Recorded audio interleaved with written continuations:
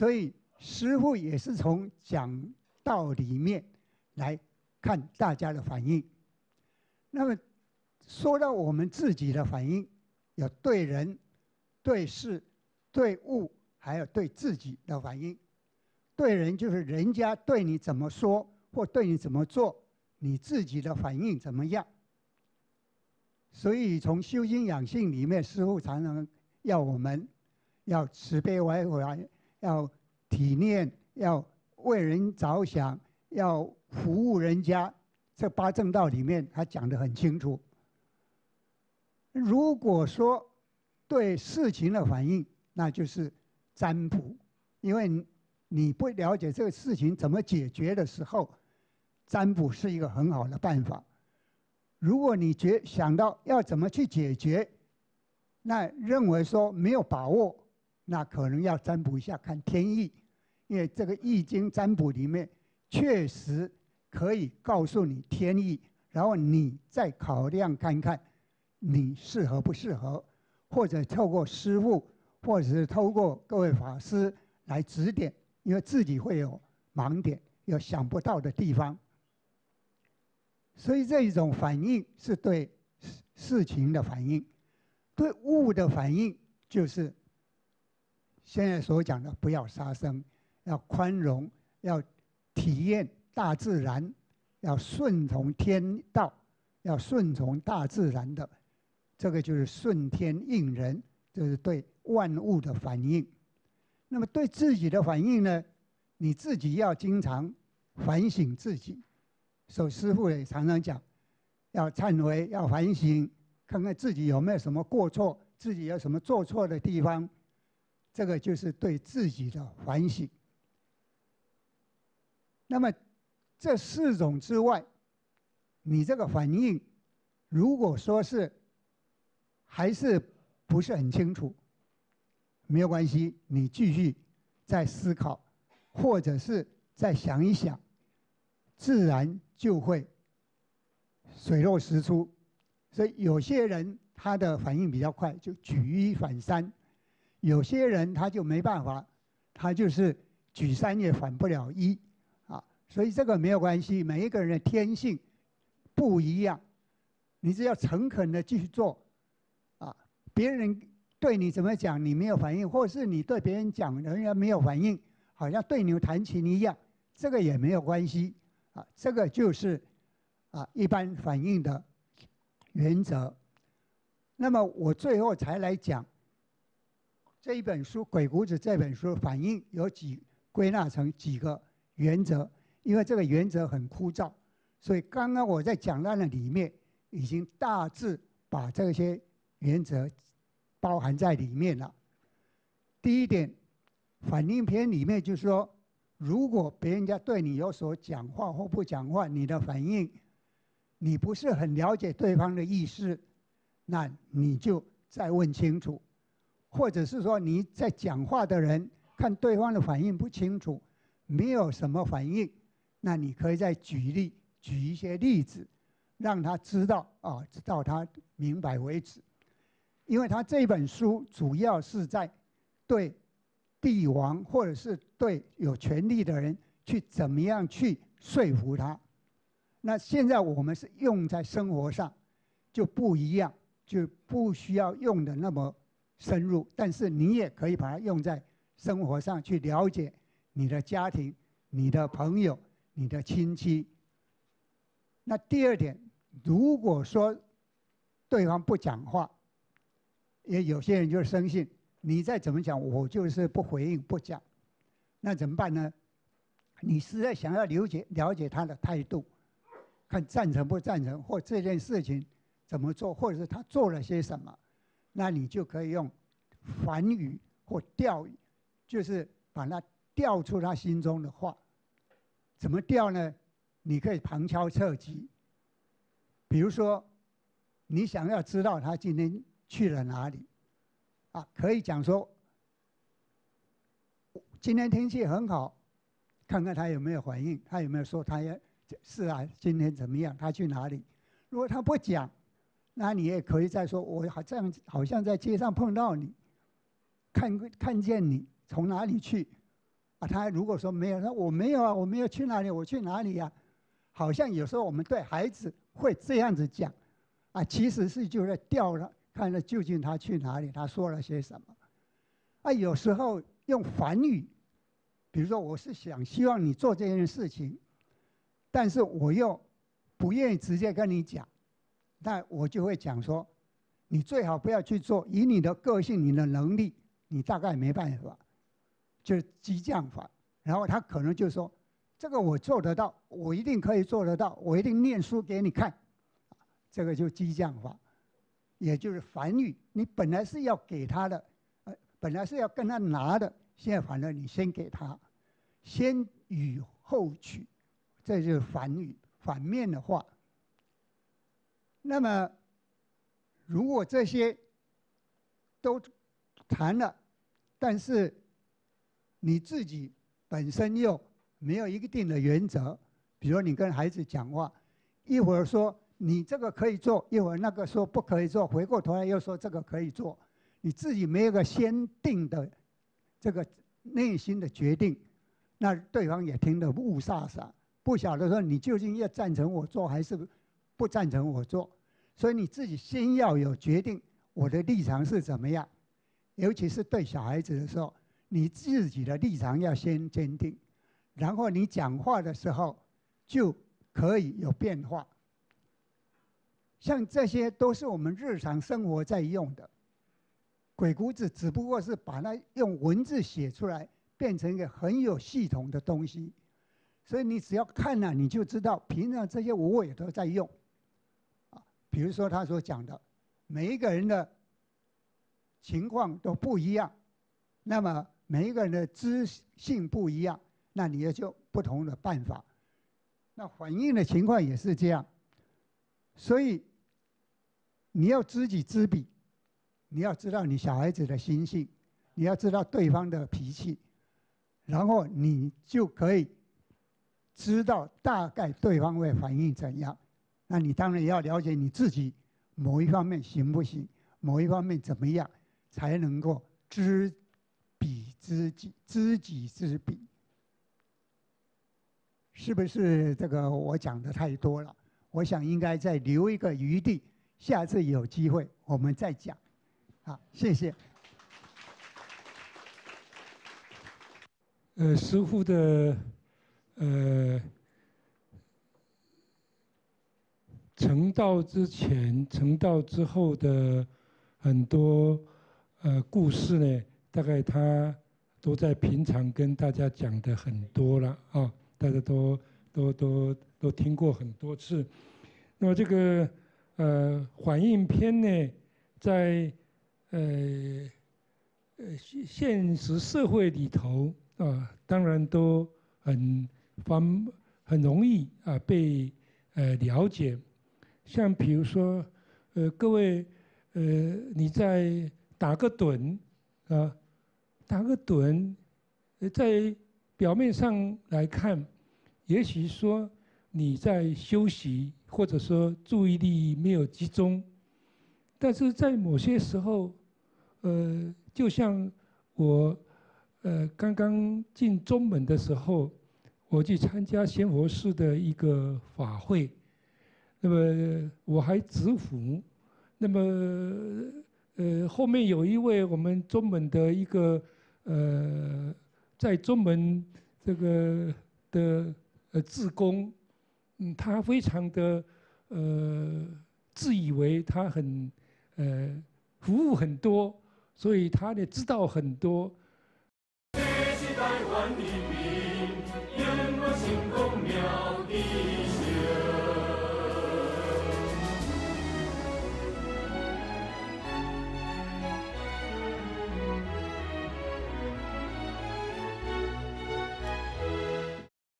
然后呢，我在前面这里，我是听着，我在欣赏人家的诵经呢，那个经的调跟那个内容，我是我不我不看那个呃不不不讲一页一页在在翻说念到哪里，我是呃很呃很安静的在听的，呃他呢就认为说好像我没有呃听懂，或者是我没有他来帮我翻页，啊他来帮我翻页，那么他看我都没有反应啊，还有。呃，我不以为说他需要做这个事情啊，所以我就没有反应。后来你知道吗？他后来呃就都不理我了啊啊！我虽然说在呃在中门里头，呃师傅也对我非常的礼遇啊，对我跟黄教授是常常掉在嘴巴上说这怎么呃呃，但是呢，我们的这位呃年轻的这个在山上的一个男生自工啊。他呢就不理我哈，我很少在中门里头有人没不理我的啊，呃几乎几乎没有说呃我到哪个中门到哪一个道场里头去，大家都很呃大家都很很欢迎的啊，呃严荣法师是不是这样子？啊啊啊！我想呃他们两位呢都保留了啊，就后面都还待续啊还待续。我们因为时间也的确时间关系，我们。呃，黄国伟黄校长呢？呃，你你光看这个题目，哎呦，禅修以顿超凡圣，你看看这个对我们来说多重要啊！啊，你这个成圣呢，这一顿就有这个顿顿就是 inside 的就是顿悟，在学习的理论上，啊，有各种理论，但是一最著名的，我认为就两个。一个是刺激反应论，有刺激有反应，有刺激反应，刺激跟反应连接起来，呃，就变成一个理想的这个结果。但是另外一个呃，德国的心理学家他们特别强调的叫 inside，就是要顿悟。所以有的时候我们想想是什么叫不通？不通有时候一点就通啊。所以我们希望这我们呃。黄校长呢，能够帮我们点通啊，帮我们从凡人的点到这个所谓一个圣人这个这个这个这个阶层里头去，好吧？我们请黄校长听。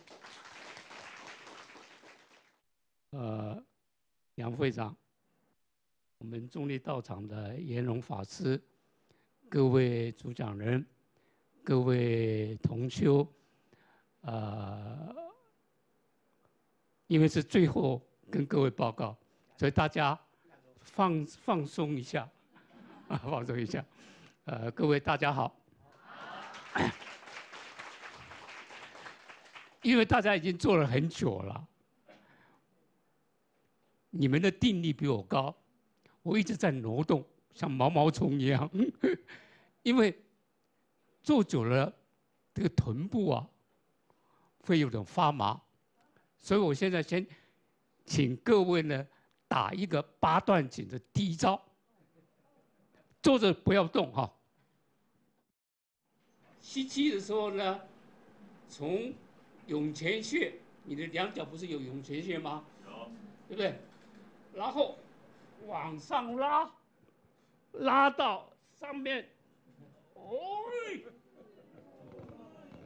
有没有？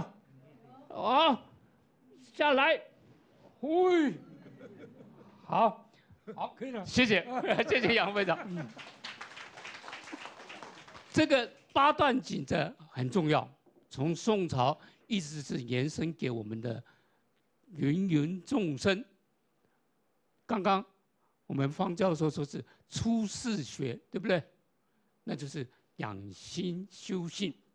这个养心修性的话很重要，你要有健康的身体，然后呢才能够。养心修性，所以很重要。你在健康的时候，你要这个八段锦是两手托天，里三焦，有没有？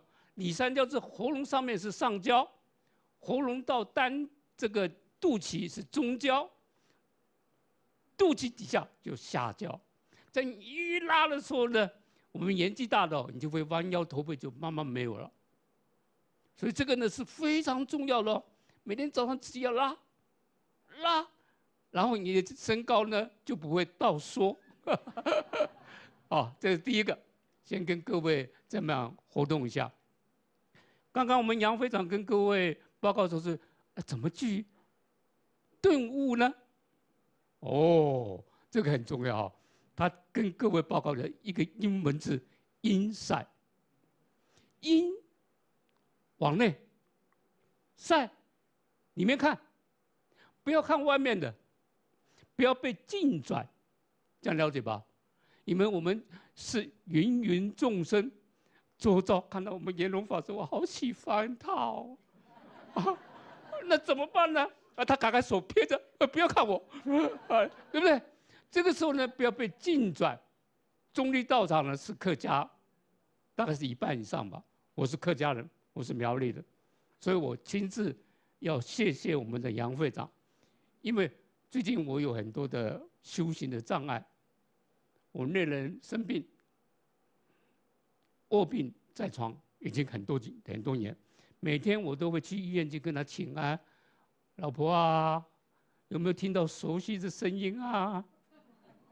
有没有个傻大哥又来了？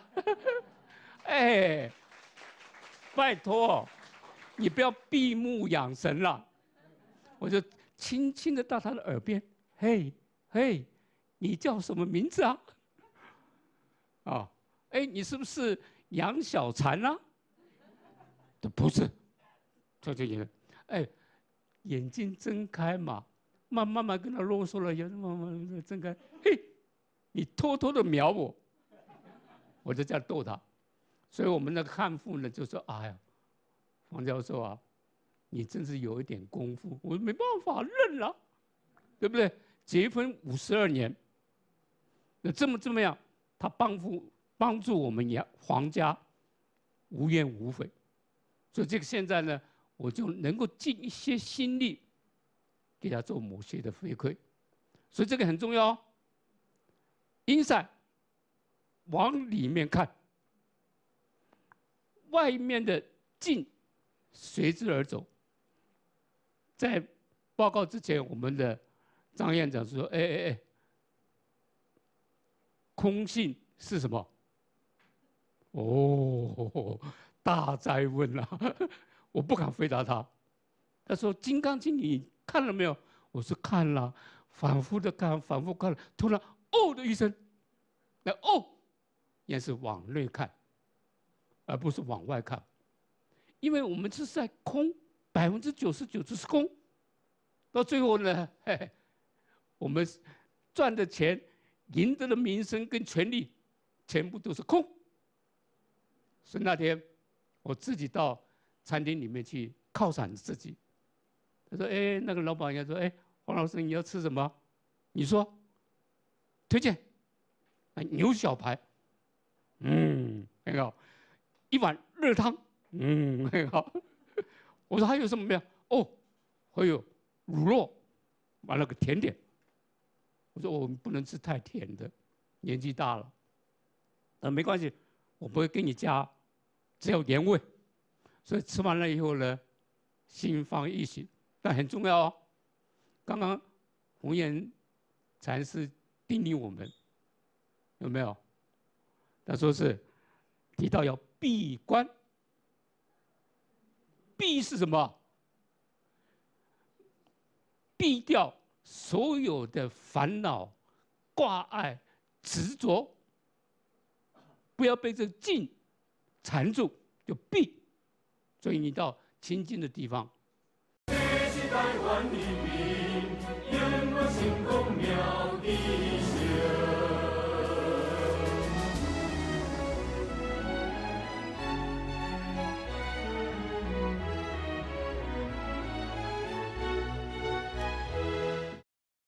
然后呢，关关到哪里？关到智慧所在，这个很重要哦。所以是往内看。当你往内看的时候呢，很明显的很重要。然后第二个，我们师父叮咛我们要当下。《金刚经》不是讲了吗？无过去心，无现在心，无未来心，有什么心？哎，就是当下。把握此时此刻，你去看那个当下是什么了？英国的刚刚去年去世的 Stephen Hawking，他做了一个研究呢，他说当下是什么？我这不是快速转吗？撞撞出来又是什么？当下是十的负四十三 second。哦，你看十的后面有四十三个，哇，分之一。所以，当我跟各位报告的时候呢，当下就没有了。很重要哦，请各位师兄师姐哦，你一定要把握。只有当下，你不要说哦，杨会长好棒哦，杨会长嘿嘿，他只有当下。所以我一定要谢谢我们的。黄宗之教授，因为我自己有一点困难，所以跟他请求，经过他的允许，啊，所以特别今天跟各位报告，所以这个很重要啊。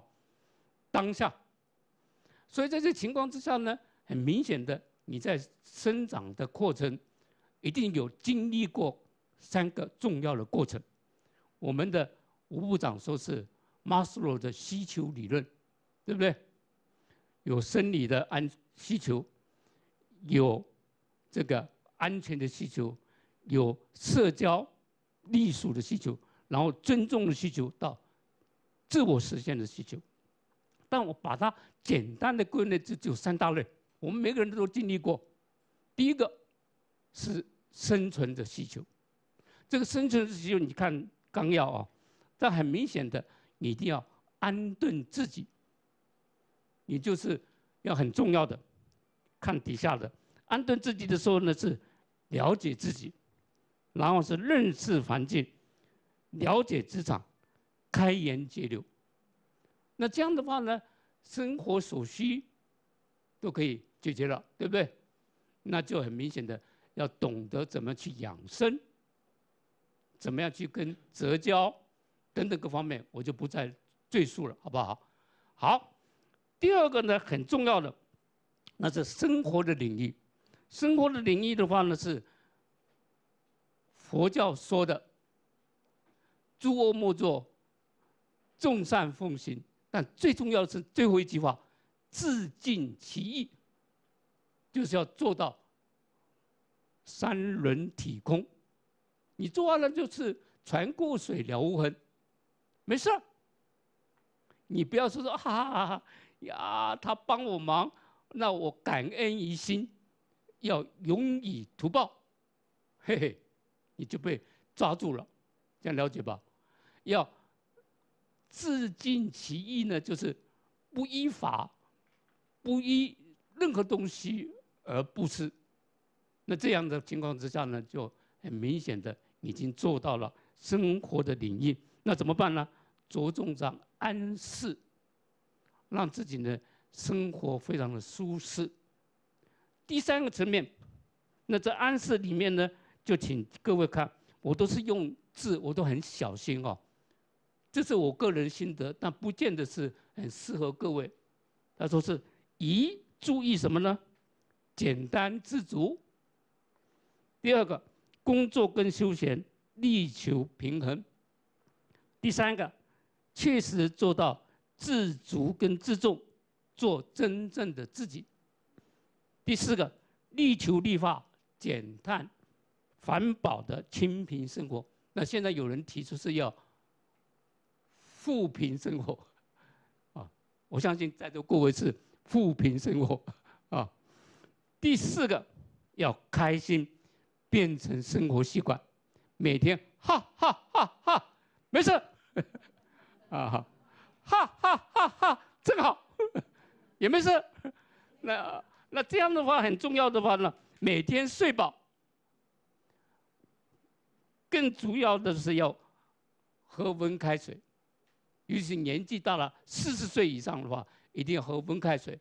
你喝冰开水的话呢，把你的心血管心抓住了，让你呢会非常的不舒服。更重要的是，吃喝。各方面呢，都是要吃一个鸡蛋，吃八分饱，每天至少吃一三次吃五谷米三次今天谢谢莲龙法师，他给我五米笔，好大碗，所以我们就跟呃张教授呢分一半一半，哦，那这很重要的，每天至少践行三十分钟。那如果你这样做到了吧，这个生活的安适大概可以做得到，这是我个人的心得，给各位做参考。那最重要的是后面的生命的安定。那我这个地方特别用应，应该，应该注意到什么呢？第一个是正悟自心，思自本心，见自本心，这是六祖坛经里面提到的。你如果没有先了解是什么，是自心的话，刚刚文言禅师不是说自信本身具足，对不对？在座各位每个人都有自信，每个人都有佛性，每个人都有本心。如果你没有去了解，往里面看，你问问每个人都有一个良心，这个良心。跟天心、宇宙的天心是相呼应的，哦，这样你问你自己，那你做到的话呢，很明显的会失自本心，见之本性，啊，我都用自啊，自己的，啊，自己。那第二个是活在当下，那后面那个地方呢是四祖道信法师游山玩水，一看到。看到法龙禅师，他说：“哎，这里有没有修行人啊？”那个寺庙的的人说：“我们都是修行人。”“不是，不是。”“哦，他说有一个修行人，哦，后山有一个懒龙，法龙老和尚，在那边啊，然后就走进去了。他说：“哇，看到很多福报。”哦，道信法师就哦，那法龙禅师。抬头一看，哦，你也怕？这个时候呢，很明显的，那有没有可以跟你聊天的地方？哦，有有，在后面。走进去了以后呢，道心法师就在石板凳下写一个佛。法龙老法师呢，一看到佛，他不敢坐，他说你也怕？啊，那这个呢就很明显的，我就把它抄录下来。一直在我日常生活之中，就是任心自在，莫作观行，一莫成心，莫起贪嗔，莫怀仇虑，荡荡无碍，任意纵横，不做诸善，不做诸恶，行住坐卧，一目触目一言，总是自信之妙用，快乐无忧。这是道信。法师说：“哎，我就交给你了，好自为之。”他就这样，他说：“走了，再见了。”这个事就是叫法龙和尚往里面走。啊，这个时候你再去看《景德传灯录》里面的法龙老和尚那个预言的过程，一定很清清楚楚。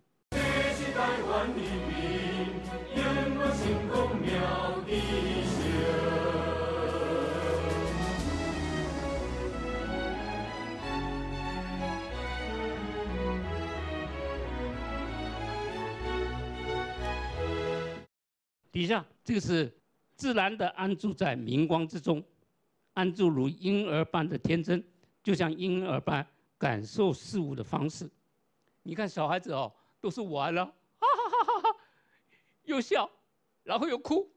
那这个时候呢，我跟我的外孙视讯的时候，嘿，William，来跟外公说好，不要，我不要洗澡。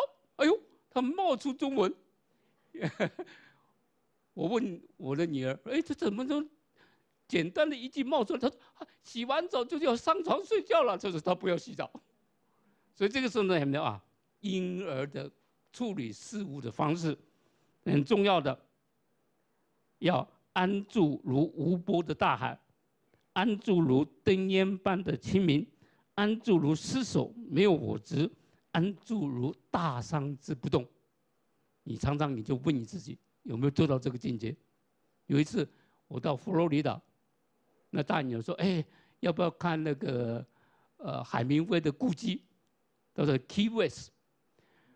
哇，开车开开开到那边的时候呢，啊，到了那地方恰好是外海，没有浪哎。我说哇，这个叫无波的大海吧？你知道？你说哦，总算你给我形容就是个地方，所以我赶快把烟供的东西拿出来，烧了香，跟所有诸佛菩萨顶礼，哦，这就是无波大。那大山子不动，那意思就是不会进展。这个你一定要在修行的功夫里面努力的去做到。好，第四点，体空离系是法身心性显现，那就是报身名无止无量的化身力，这个就是至高的真实相。那这个呢，就是《六祖坛经》里面常常提到这个地方。那你怎么去做呢？所以我简单的就跟底下生命、都行、行动三根本。有人是说是确实执行，那我用都行呢，就是一定认真的做到这个三根本，行动的三根本。那怎么呢？举手投足，无一人戒之莫行；开口动舌，无一人戒之莫言；起心动念，无一人戒之莫想。所以我很谢谢，呃，江执行长帮我画了一个笑脸，啊，这个笑脸的话，我非常谢谢他。面带微笑，笑看这个梦幻人生。《金刚经》里面讲说，一切有为法，梦幻泡影，如如一如电，应作如是观，对不对？敬祝各位一切顿悟，往里面看。谢谢各位。我们平常啊，这个在沟通的时候，我们常常。呃，会把我们很熟悉的东西，我们很呃内化的东西呢，就这样子讲给别人听。那么，呃，我们听的人也好像都很努力的在点头。我中间插一段，在民国六十七年的时候，我跟黄校长呢，我们同样在同时。呃，在一个地方，呃，这些人都后来有的当部长，有的当校长，有的都很多。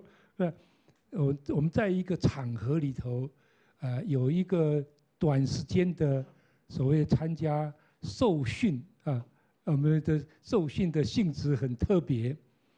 那么结果我们就这样子，大家在上课，有的。呃，来主讲的人啊，讲的哲学，讲的的很多很多很多很高层次的内容。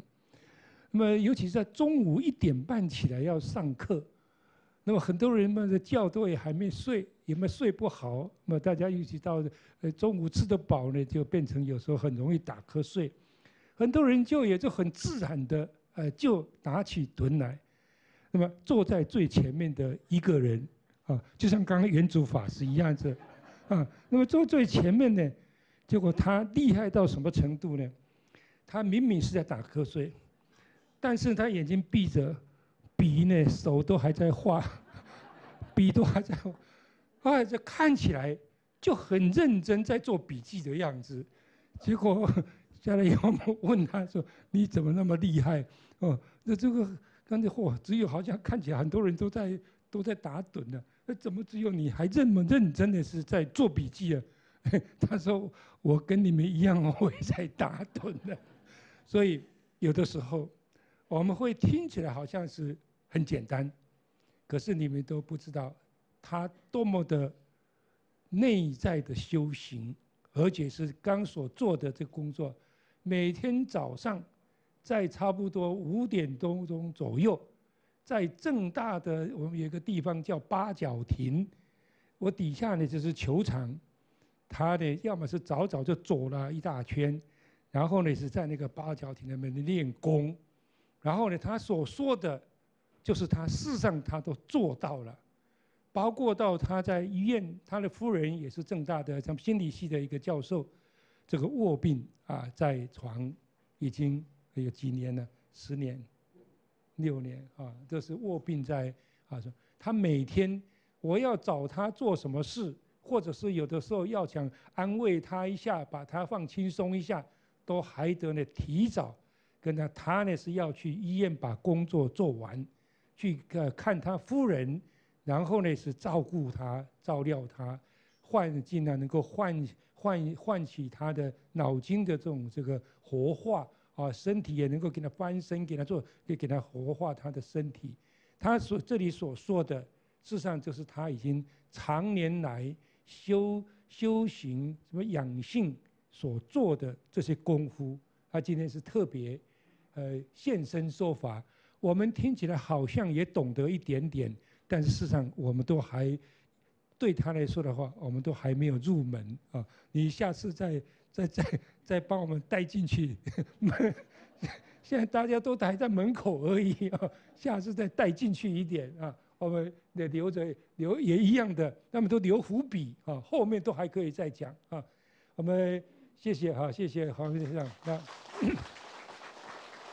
呃，你看他今天之所以能够来，事实上他跟黄教授换兑换时间，呃，他呢是生怕说他后面的时间不方便用，因为他要照顾他夫人。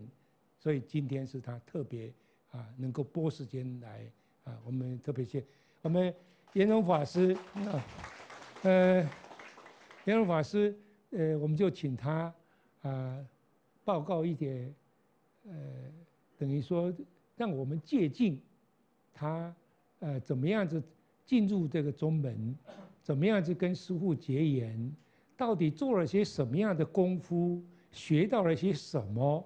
他现在有什么样的这个成长的这整个心路历程啊？就是我们现在把时间交给严荣法师啊，严荣法师，谢谢。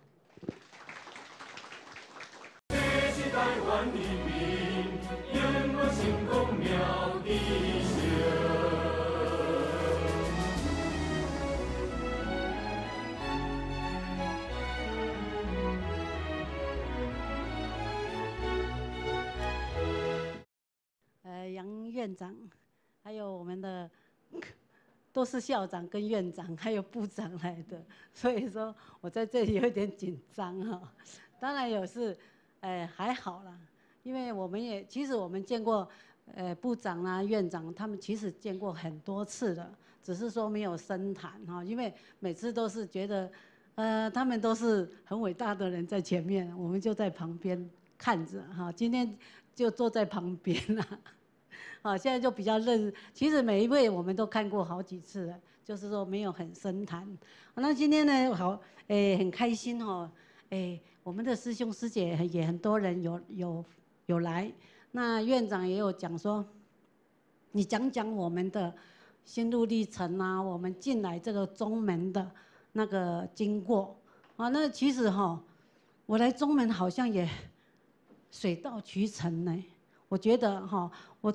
我不知道是什么原因呐，是不是我们易经讲的什么子那个什么我们的命卦里面的什么子孙爻辞世的关系吧？哈，这哎呀，连师傅都知道，每次看到我的时候就说，因为我是什么命卦的哈，子孙爻辞世又旺相，要动摇回头生这样，所以说，嗯，那我从年轻的时候，我三十几岁，诶，第一次认。看到广清老和尚的时候，我也不知道为什么，他第一天看到我就说：“我帮你皈依好不好？”就单独帮我皈依了，你知道吗？结果很多人就说：“我们都好好难得见到广清老和尚，你怎么看得到？”我说：“我不知道呢。”啊，就是我朋友带我去，第一次进入所谓的佛门。其实我以前也不知道什么什么叫做道教啦、佛教，因为我们在乡下长大的孩子。只知道拜拜而已啦，哦，有什么庙，好，有时候父母亲会带我们拜拜而已。后来我后来就进入正式的佛教。那进入正式佛教呢，后来又碰到那个慈济的正言法师，哦，也是我也是第一次就看到他了，也这是我大嫂的引荐啊。她说有位女的法师，哎，怎样怎样，她跟我讲了，他那时候慈济医院都还没盖，他就说我带你去找看一个女的法师。我想说什么女的法师，就就是正言法师。好，还有后来就当然啦，那个星云法师那边也都是很，我没有想到说要见，可是就见到面了。我后来达赖老达赖老妈来的时候，后来我是因为学气功了哈，就是那时候我碰到一个很好的气功师傅，他现在在纽西兰，真的他是看我们是像透明人一样，他就叫我们一起功。那后来我也因为。有原因也是进入中医，好就去学青草药啦、针灸啦、拔罐啦，都学了。后来就最后学到气功，啊，气功的时候，那个气功师傅是一个密宗的密宗的老师，他又带我们进入黄教的密宗，所以说他一向都走的还算顺利哈。那后来达赖老妈来台湾弘弘法，我也说达赖老妈我也不认识他。要去看吗？哈，因为太多人了，我们也不一定拿得到票。结果我到台桃园去的时候，一位师姐说：“哎，吴老师，你一定要去哦。”我说：“为什么？”因为他说他有票，还在还在那个前面的优待票那边，又去见了达赖喇嘛。结果前前两年，师傅带我们去到，呃，昆仑山，好到到了黄教宗师的中科巴。师傅的出生地，哎，我又回到那边去了，所以我去的时候，我也觉得，嗯，似曾相识了哈，哎，这样子。后来那二十五年前呢，又看到我先生呐，最先是其实是我先生看到师傅在《新生报》的连载，就是风水学的奥秘。我们我先生回来了就说，哎，有一位法师呢，那个叫做混元禅师写的那个风水书很好。哦，而且他会教人家什么方法改进，这样普通的地理师、风水师不会教人啊。他只是说啊，我帮你改，你一个多少钱，我风包多少就好了。可是师傅会把大家有来学过哈，就会把各种的方法叫我们改进。好，那我先生就跟我讲讲了，我就就简报哈，就师傅写的那一篇简报，剪了剪，有一天就说师傅要来台北开课了。就说在招生要开课，哎，我先生还蛮赞成我来上课的，可是很远呐，我我住在桃园，师傅在五股工业区那边开课，我说我怎么去？我先生说有有那个公路局啊，以前是公路局嘛，哦，我们我们社区门口又有车站，你知道吗？要坐到坐到泰山到那个新庄去，再转车了哈。我先说，那这样就很方便啊，就去，就就进入我们的中门。所以我进入中门的时候，我是没有看过师傅的，我也没有听过他的声音，也没有看过他的人像。可是进来了，就进来了，就就学习，姻缘也很好了哈。经过三个月呢，那个现在大安寺的元德法师就打电话给我，他说：“哎，师姐师姐，你要不要来做义工啊？”我说：“好啊，那做什么义工？”好去了，他才告诉我，啊，师傅给你照顾啦，好，所以说就说他喝茶啦，什么，哎，讲桌上面啊，你都帮忙做哈。那时候还有一个工作，就是要滚什么四神汤啦，哎，我们的师姐就知道要滚四神汤。我每次去以前前一天晚上就把四神汤滚好，好，还有后来到了过了一个多月，呃，大梵寺开课嘛，可大梵寺又没有人做义工。圆德法师又打电话跟我说：“哎，那大梵寺没有人，你要不要来做义工？” 我又去了，所以大梵寺跟大安寺我都服务了将近十年以上，哦，就照顾。那我那也很好啊，为什么？师傅在上课，我就在旁边听课，所以我二届、三届，甚至到五五届、八届，我都在听课，所以我听了很多课，也免费的呢。好，那后来呢？啊，就有一天就说，要要什么？要师傅说开始要请各位师兄师姐出来开课了。那时候其实我也不敢呐，哦，我们不敢。那是那个我们有二十几位讲师嘛，就说你们抽签看你们要去哪个你们有缘的地方啦，哦，有缘的地方。那后来各种因缘，我是最后一个到到去抽签的，剩下中立没有人没有人要啦。他们说因为中立是客家人呐。没人敢去呀，那我就说就讲姑的啦，就安讲的啦。那我客家人，你知道？他说，那你是客家人，你就要去这样子。那我就来这边了哈，就到中立这边开始找地方开课。开了两年以后，啊，袁道法师又念我，他说你都没有听话。我说哈，我很听话，为什么我没听话？他说。你应该去去买道场啦！我我我伊目睭较大累哦，买稻场，我兜有好大楼，我个稻场要要开钱啊，我的钱要倒来安尼吼。